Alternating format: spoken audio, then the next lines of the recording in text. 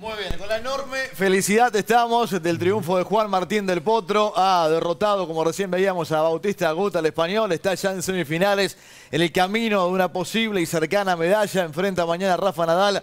Te lo contaron Chiche y Juano. Eh, coincido con lo que decían. ¿eh? Era en el segundo porque físicamente está el límite. Cuando empezó, cuando comenzó el tiebreak dijimos ahora o nunca, porque físicamente Agut estaba eh, mucho mejor físicamente y lo vimos muy desgastado, por momentos ahogado a Del Potro.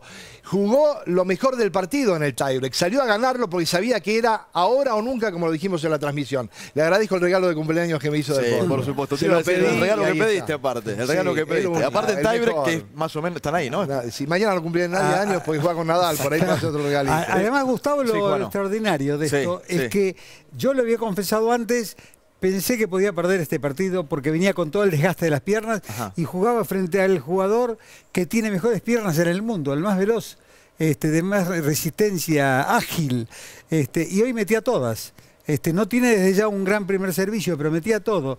Y que haya ganado este partido no solamente sirve para los juegos, para nosotros, nos reconforta, sino para él, que vino a consolidar una recuperación de allí el llanto, que él ahora creo que entiende que yo no sé si decir ¿Sabés recuperado qué creo, un 100%. Juano? Que esas lágrimas del final demuestran mucho de lo que estás contando, ¿no? Que, que es un partido que no solamente le sirve particularmente a él, eh, para lo próximo, para mañana Nadal, Claro. ojalá que sea para más cosas, porque si pierde con Nadal va a jugar igualmente por bronce, eh, sino también para lo que se viene después de esto. para volver al circuito y saber que es un jugador que puede estar top 10 sin ningún tipo de dudas. Y me lo preguntabas la semana pasada, ¿qué hubiese pasado si no se lesionaba? Seguramente le peleaba el primer puesto a Djokovic, por lo menos iba a estar entre los tres mejores del mundo. Eh, te pido un favor, si lo ves a Osvaldo Príncipe y Sí. decirle que ganó por Pero nocaut. decirle vos que lo tenemos acá, acá lo Ganó por nocaut. Acá lo a Estamos Osvaldo. todos festejando. Walter Pérez también el campeón olímpico. Ganó Pérez, por demolición, Que también nos hizo sufrir, ¿no? Por Walter. Pérez. No, nos hizo sufrir demasiado, sí, pero la victoria, eh, mirá, van a decir que estoy loco. Sí, ya lo dijeron. Porque ¿eh? le ganó el número uno del mundo, a Djokovic.